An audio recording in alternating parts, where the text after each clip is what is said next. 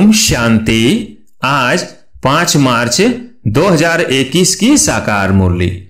आज बाबा ने कहा, मीठे बच्चे, जैसे बाप दादा दोनों निरंकारी है, देही अभिमानी है, ऐसे फॉलो फादर करो तो सदा उन्नति होती रहेगी। प्रश्न, ऊंच पद की प्राप्ति के लिए कौन सी खबरदारी रखना ज़रूरी है? उत्तर, ऊंच पद पाना है तो खबरदारी रखो, कि मनसा में भी किसी को मेरे द्वारा दुख न हो। दूसरा, किसी भी परिस्थिति में क्रोध न आए। तीसरा, बाप का बनकर बाप के कार्य में, इस रुद्र यज्ञ में विघ्न रूप न बने। अगर कोई मुख से बाबा बाबा कहे और चलन रॉयल न हो तो ऊंच पद नहीं मिल सकता। ओम शांति। बच्चे अच्छी तरह से जानते हैं कि बाप से बसा पाना है ज़रूर। कैसे? श्रीमत पर। बाप ने समझाया है, एक ही गीता शास्त्र है, जिसमें श्रीमद भगवानुवाच है। भगवान तो सबका बाप है, श्रीमद भगवानुवाच तो ज़रूर भगवान ने आकर श्रेष्ठ बनाया होगा, तब तो उसकी महिमा है। श्रीमद भगवत गीता, अर्थात श्रीमद भगवानुवाच भगवान तो ज़रूर ऊंचते ऊंच ठहरा। श्रीमद भी उसी एक शास्त्र में गाई हुई है। और कोई शास्त्र में श्रीमद भगवानुवाच नहीं है। श्रीमद किसकी होनी चाहिए? वो लिखने वाले भी समझ न सके। उसमें भूल क्यों हुई है? वो भी बाप आकर समझाते हैं। रावण राज्य शुरू होने से ही रावण मत पर चल पड़ते हैं। पहले कड़े ते कड़ी भूल इन रावण मत वालों ने की है। रावण की चमाट लगती है। जैसे कहा जाता है, शंकर प्रेरक है। बम शादी बनवाए हैं। वैसे पाँच विकारों रूपी रावण प्रेरक है, मनुष्य को पतित बनाने का। तब तो पुकारते हैं, पतित पावन आओ। तो पतित पावन एक ही ठहराना, इससे सिद्ध है कि पतित बनाने वाला और है, पावन बनाने वाला और है।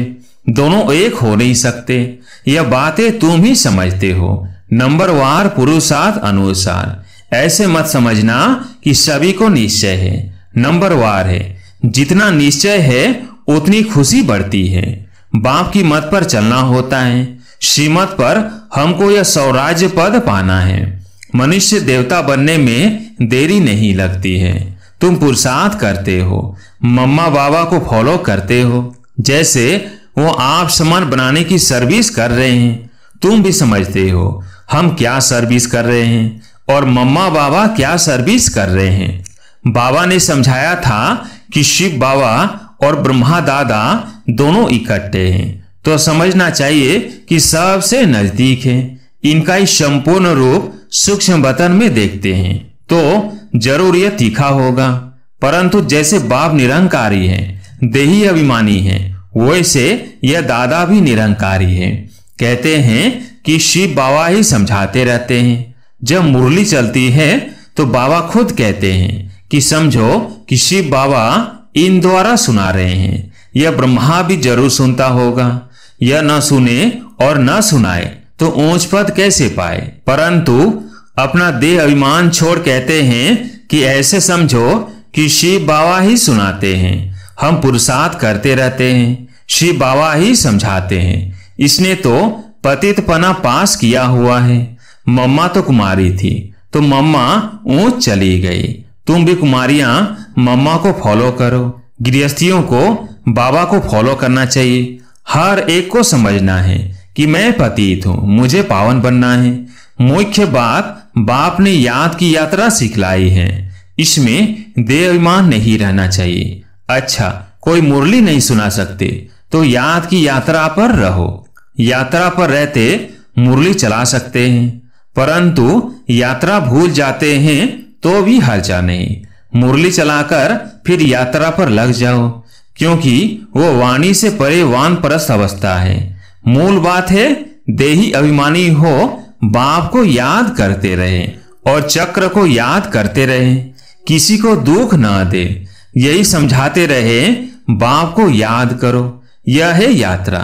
मनुष्य जब मरते हैं तो कहते हैं, स्वर्ग पधारा। अज्ञान काल में कोई स्वर को याद नहीं करते हैं। स्वर को याद करना, माना यहाँ से मरना। ऐसे तो कोई याद नहीं करते।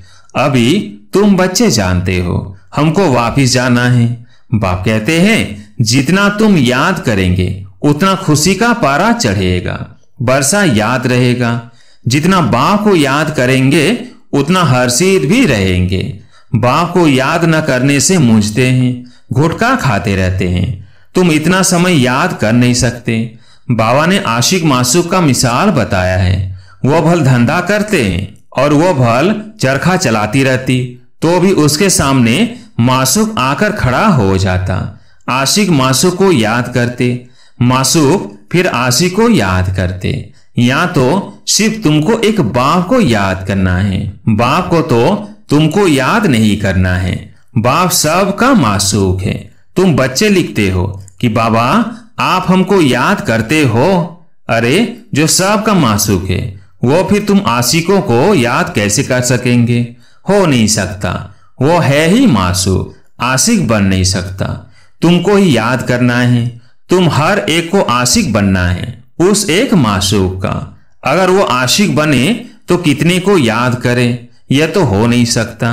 कहता है कि मेरे ऊपर पापों का बोझ थोड़ी है, जो किसको याद करूँ? तुम्हारे ऊपर बोझा है। बाप को याद नहीं करेंगे तो पापों का बोझा नहीं उतरेगा।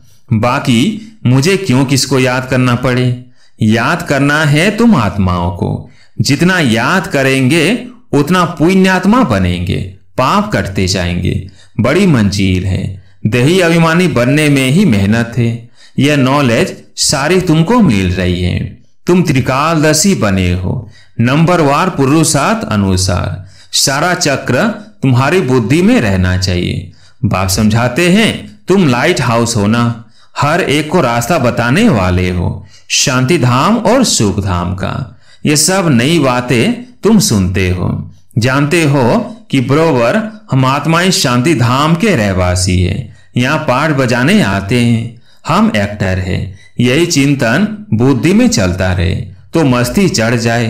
बाप ने समझाया है, आदि से लेकर अंत तक तुम्हारा पाठ है। अभी कर्मातीत अवस्था में ज़रूर जाना है, फिर गोल्डन एज में आना है। इस धुन में रहते अपना कल्याण करना है, सिर्फ़ पंडित नहीं बनना है। दूसरे को सिखाते रहेंगे, खुद उस अवस्था में नहीं रहेंगे तो असर पड़ेगा नहीं। अपना भी पुरुषार्थ करना है।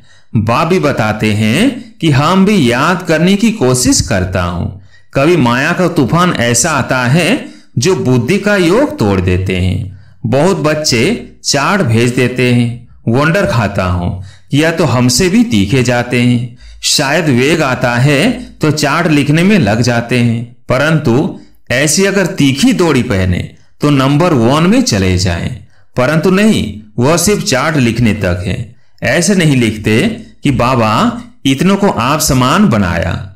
और वो भी लिखे, बाबा, हमको इसने यह रास्ता बताया है, ऐसा समाचार नहीं आता है। तो बाबा क्या समझेंगे? सिर्फ़ चार्ट भेजने से काम नहीं चलता। आप समान भी बनाना है रूप और वसंत दोनों बनना है, नहीं तो बाप समान नहीं ठहरे।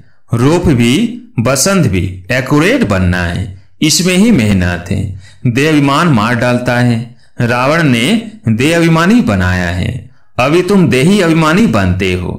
फिर आधा कल्प के बाद माया रावण देह अभिमानी बनाती है। देही अभिमानी तो बहुत मीठा बन जाते हैं। संपूर्ण तो अभी कोई भी बना नहीं है। इसलिए बाबा हमेशा कहते हैं कि किसी के भी दिल को रंज नहीं करना है, दुख नहीं देना है। सबको बाप का परिचय दो। बोलने करने की भी बड़ी रॉयल्टी चाहिए। ईश्वरीय संतान के मुख से सदैव रतन निकलने चाहिए। तुम मनुष्यों को जियादान देते हो, रास्ता बताना है और समझाना है।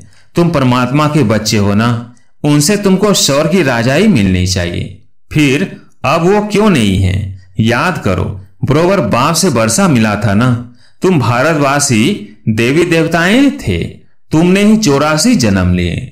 तुम समझो कि हम ही लक्ष्मी नारायण के कुल के थे। अपने को कम क्यों समझते हो?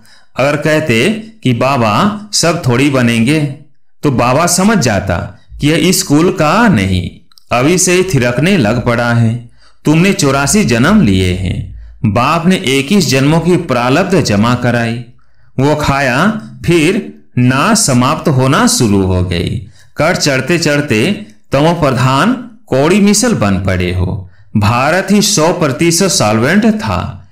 इन्हों को यह वर्षा कहाँ से मिला? एक्टर्स ही बता सकेंगे ना। मनुष्य ही एक्टर है। उनको यह पता होना चाहिए कि इन लक्ष्मी नारायण को बादशाही मिली कहाँ से? कितनी अच्छी अच्छी पॉइंट से हैं। ज़रूर आगे जन्म में ही यह राज्य भाग्य पाया होगा। बाप ही पतित पावन है। बाप कहते हैं कि मैं तुमको कर्म, अकर्म और विकर्म की गति समझाता हूँ। रावण राज्य में मनुष्य के कर्म, विकर्म हो जाते हैं। वहाँ तुम्हारे कर्म, अकर्म होते हैं। वो है देवी सृष्टि। मैं रचता हूँ तो ज़रूर मुझे संगम पर आना पड़े। यह है रावण राज्य। वह ईश्वरीय राज्य। ईश्वर अब स्थापना करा रहे हैं। तुम सब ईश्वर के बच्चे हो। तुमको वर्षा मिल रहा है। भारतवासी ही सॉल्वेंट थे।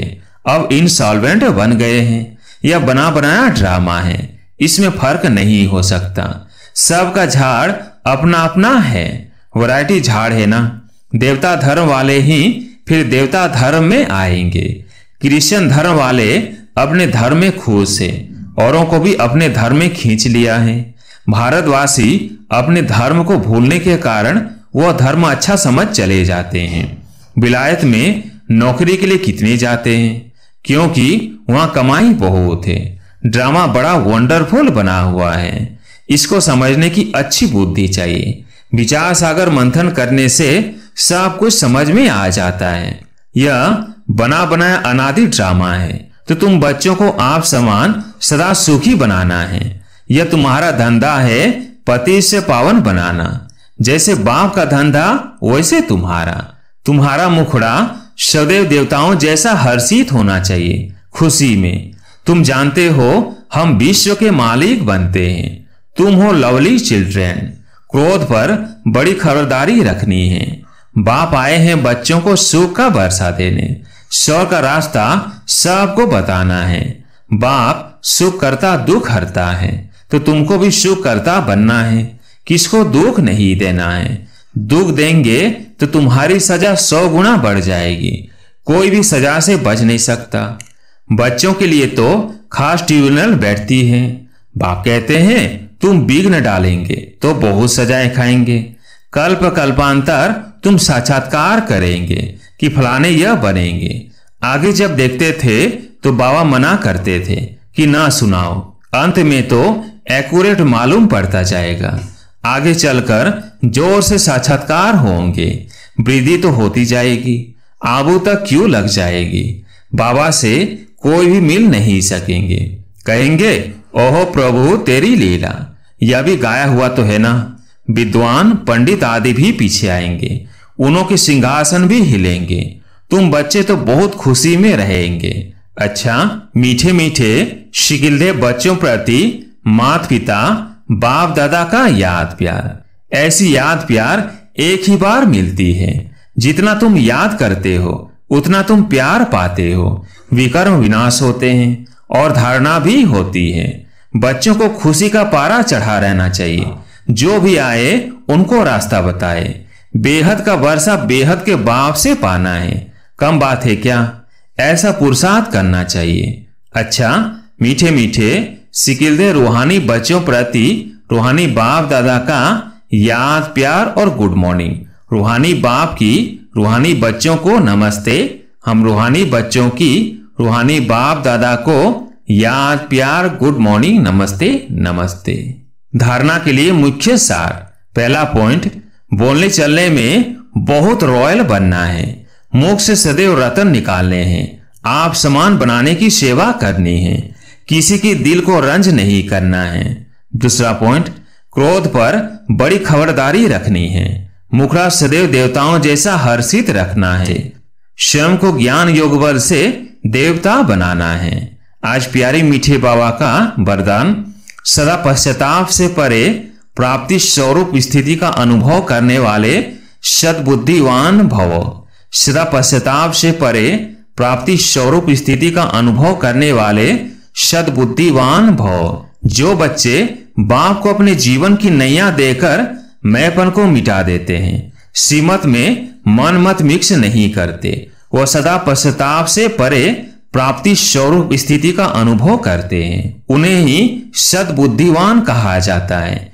ऐसे सदबुद्धि वाले तूफानों को तोहफा समझ, स्वभाव संस्कार की टक्कर को आगे बढ़ने का आधार समझ, सदा बाप को साथी बनाते हुए, साक्षी हो, हर पार देखते सदा हर्षित होकर चलते हैं। स्लोगन जो सुखदाता बाप के सुखदाई बच्चे हैं, उनके पास दुख की लहर आ नहीं सकती। जो सुखदाता बाप के सुखदाई बच्चे हैं, उनके पास दुख की लहर आ नहीं सकती। अच्छा ओम शांति।